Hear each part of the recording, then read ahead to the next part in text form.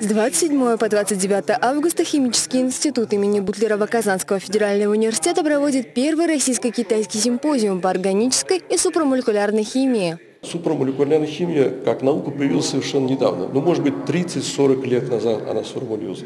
Когда стало ясно, что свойства материала, а сейчас это очень важно, зависят не только от молекулярной структуры соединения, как вот мы всегда понимаем, а от того, как эти молекулы организованы в пространстве.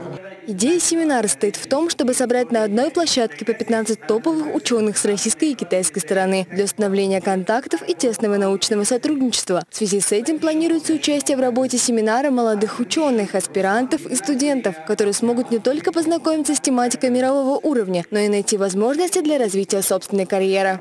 Российские ученые и китайские ученые имеют очень э, хорошие достижения э, мирового уровня в этих областях. И мы надеемся, что э, взаимодействие этих ученых даст совершенно новые результаты, которые должны превзойти все наши ожидания. Ходе симпозиума с лекциями выступят высококлассные специалисты, которые представят свои работы. Следующий российско-китайский симпозиум по органической и супрамолекулярной химии состоится через два года в Пекине. Диана Шилова, Леонард Влетьяров, Univer News.